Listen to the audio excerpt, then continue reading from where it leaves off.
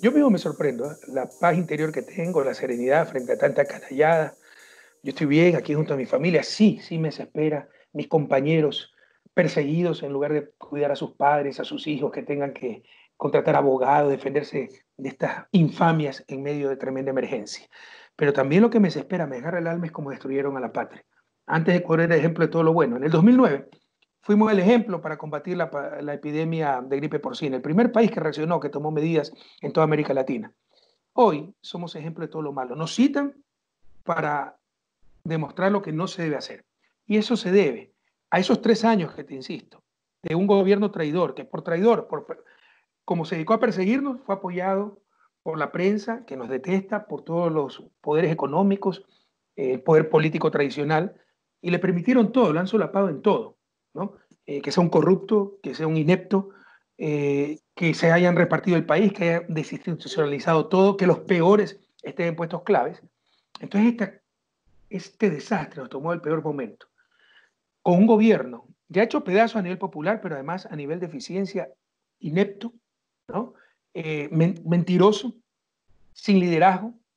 Como yo tengo un liderazgo fuerte, le llamaban autoritarismo. Ellos al reparto le llamaron diálogo. Ahí están las consecuencias de ese reparto. Nos tomó con un sistema de salud destrozado, porque desmantelaron todas las políticas que teníamos, impusieron, traicionando la voluntad popular, el neoliberalismo, por eso tiene el apoyo de la banca, de los grupos económicos, del Fondo Monetario de Estados Unidos. Entonces, solo en, estos tres años sacaron 12.000 funcionarios, 12.000 del sistema de salud. Acabaron el convenio con los médicos cubanos, los regresaron a su patria en diciembre de 2019, 400 médicos cubanos. Entonces, un desastre. ¿no? y también destrozaron la economía. Nosotros tenemos una economía dolarizada, debes saber manejar una economía dolarizada. Siempre en una economía en vías de desarrollo los dólares son preciosos, las divisas, pero peor es una economía dolarizada, porque por último, en una economía con moneda nacional emites moneda, algo puedes hacer. En una economía dolarizada, el circulante depende de cuántos dólares entra y cuántos sale. ¿no? Entonces destrozaron, destrozaron la economía. El año pasado decrecimos, pero los bancos rompieron récord en utilidades, ¿te imaginas? decrecimos 0.5% y los bancos que cogobiernan rompieron récord en utilidades, una aberración realmente a nivel económico, y sacan toda esa plata del país. Son el grupo que más produce fuga de capitales. Entonces nos tomó en el peor momento, sin gobierno, con un sistema de salud muy debilitado y con una economía destrozada. Pero cuando ya viene la emergencia, ni siquiera pues toman decisiones, una indiferencia, una negligencia total. En enero ya se van los protocolos para combatir la epidemia. En febrero ya se declaraba pandemia mundial. En febrero 29 ya tuvimos la primera contagiada verificada en Ecuador y permitieron partidos de fútbol en mi ciudad, en Guayaquil, con 50 mil personas.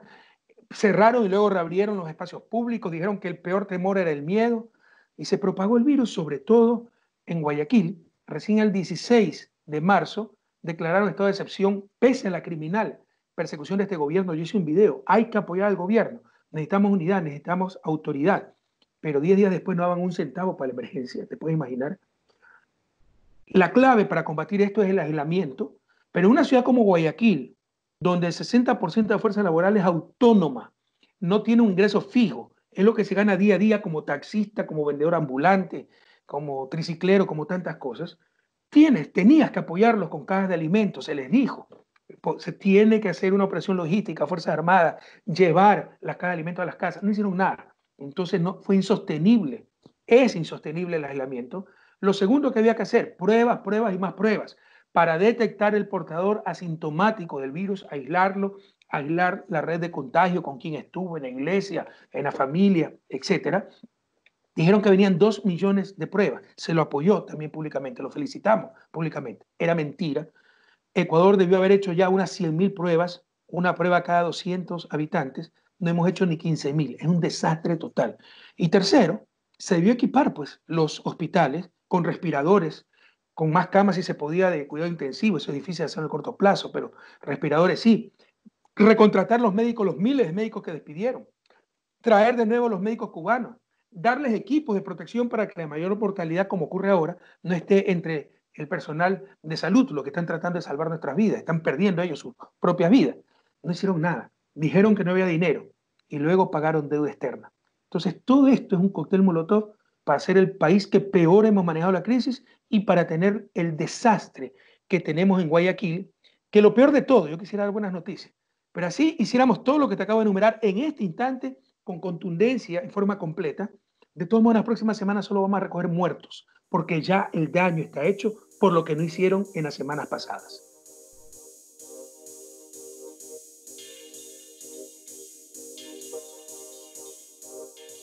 Yo no veo luz al final del túnel, a no ser que por milagro se cree una vacuna, pero todos los expertos dicen que eso tomará un año, un año y medio más. Ecuador va directo al precipicio. O sea, ya no estamos en crisis, en Ecuador estamos en catástrofe. Y lo peor está por venir. Yo he dicho claramente, ya estoy viejo para engañar, el gobierno debe dar un paso al costado. Tiene que haber un reemplazo constitucional, alguien que lidere, que tome decisiones, que tenga autoridad, que esté presente. El presidente está escondido porque dice que es persona vulnerable.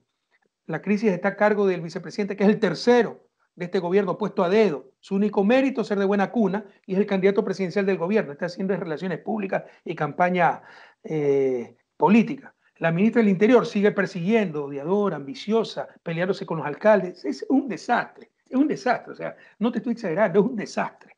Vamos directo al precipicio. Es necesario un cambio constitucional por esta emergencia del gobierno. te pongo solo un ejemplo. El 16 de abril, en unos días se cumplen cuatro años, en dos días, del 2016 tuvimos un terremoto de, en, en Manabí muy fuerte, en una provincia. En 30 segundos tuvimos 600 muertos. A nadie le faltó un ataúd, todos fueron identificados, todos tuvieron un entierro digno. Porque si en esta excepción te faltan ataúdes, por decirte algo, es como en la guerra, ¿no? Tú puedes requisicionar empresas. Le dices a la empresa de ollas, usted me empieza a fabricar municiones para la guerra. Después veo cómo le pago, si es que le pago. Y cuándo, cómo, etcétera.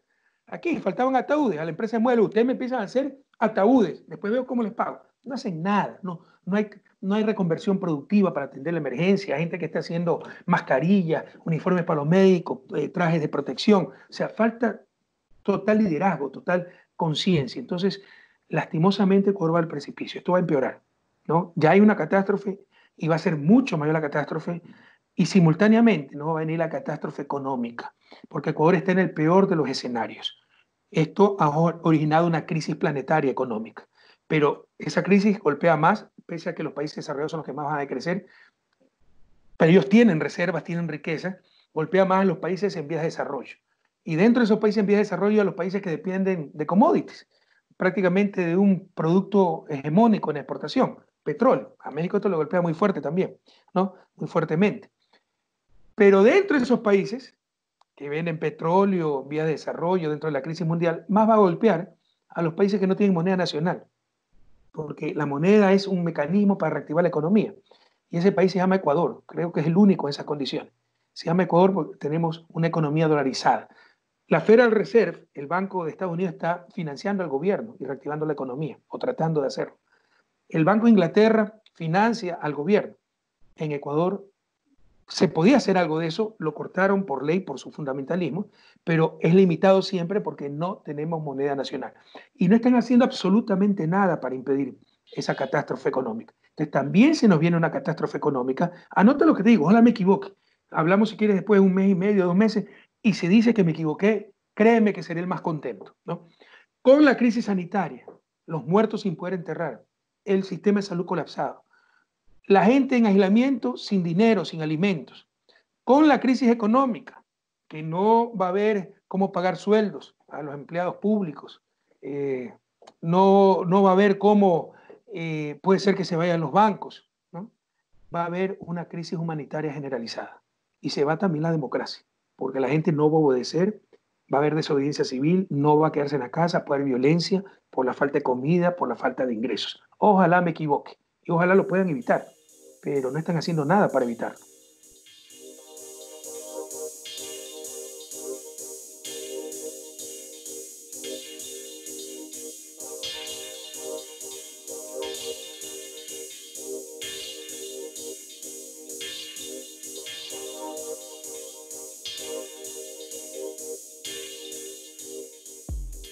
Ese es su gran fracaso.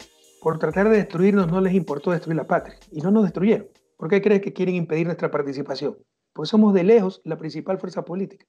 Les acabamos de ganar en las peores condiciones, ¿eh? con partido prestado, 30% no sabía cuál era la nueva lista de la Revolución Ciudadana. El año pasado les ganamos las elecciones locales y saben que le vamos a ganar y probablemente una sola vuelta a presidencia. Eh, gran participación en asamblea porque ya nos están tratando de vencer en el escritorio, reformaron la asignación de escaños para potenciar las minorías, no el método de Hong que teníamos, con el cual pues eh, nosotros obteníamos mayoría en asamblea. Es para dispersar el poder y para quien llegue al gobierno no pueda cambiar nada de las barbaridades que han hecho. Entonces, han fracasado en ese intento de destrucción. Los procesos sociales no se destruyen ni con la opresión ni con la publicidad, pueden demorarlo. La historia la pueden demorar, aumentar el costo de cumplir esa historia, pero muy difícilmente pueden cambiar el curso de esa historia.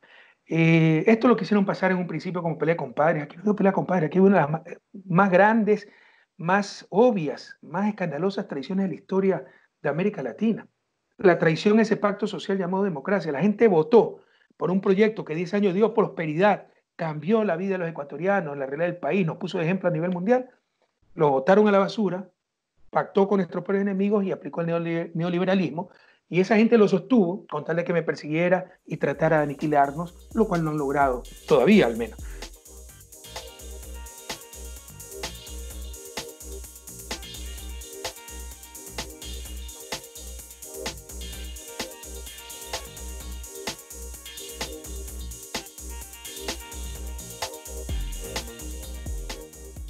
pues obviamente los medios cómplices de Moreno tuvieron que posicionar mentiras como el propio Moreno, que acaba de repetir. Tuvimos 60 mil, recibimos 60 mil millones en deuda. Aquí está el cuadro de deuda pública total y exterior. La más importante es la externa, ¿no? el verdadero problema. Ministerio de Finanzas, Subsecretaría de Financiamiento Público, pues si son eh, cifras oficiales. 2016, yo goberné hasta principios del 2017. Deuda pública total 38.2%, 38.138.6 millones de dólares. Deuda externa 25.679.3 eh, millones de dólares, 25.7 del presupuesto. Dijeron que era 60 mil millones y lo siguen repitiendo. Ahora, pese a que se han endeudado en 15 mil millones en dos años y medio, nosotros endeudamos, la deuda externa subió 15 mil millones del 2006 al 2016 y sembrando el país de obras. En estos tres años no han hecho ni un poste alumbrado público y han subido en dos años y medio la misma cantidad de la deuda externa. Ahora sí nos encontramos en 50.4%. En Ecuador hay una ley que te prohíbe superar el 40%. Ellos incumplieron la ley, pero no pasa nada. Tienen toda la complicidad de la prensa. Así que es mentira, por supuesto. No somos Suiza. O sea, siempre estamos en una economía en desarrollo con problemas. Pero gracias a Dios construimos hospitales. Solo en Guayaquil hay 1.500 camas por lo menos, que son los que están salvando vidas. Imagínate, cuando yo llegué al gobierno en el 2007 todavía teníamos apagones, pero 8 o 10 horas diarias. Si no hubiéramos construido las hidroeléctricas, seguiríamos teniendo apagones en esta emergencia. Entonces, recibieron un país mucho mejor. Tuvimos terremoto en el 2016, derrumbe el precio del petróleo, hubo problemas económicos, estabilizamos la economía. Ya en el 2017 crecíamos, pero con las políticas absurdas que pusieron, dejar escapar capitales, importa hasta Nutella, eh, barata, alcoholes, cualquier cosa, no controles importaciones, no, no proteja producción nacional, eh, bueno, nos llevaron a una grave recesión. Ellos indujeron la crisis, ¿no? Y por supuesto, pues tienen que justificarlo de alguna forma, pero ya nadie les cree. Y por favor, ustedes como periodistas pidan pruebas. Hablemos con cifras oficiales. Basta de tantas mentiras.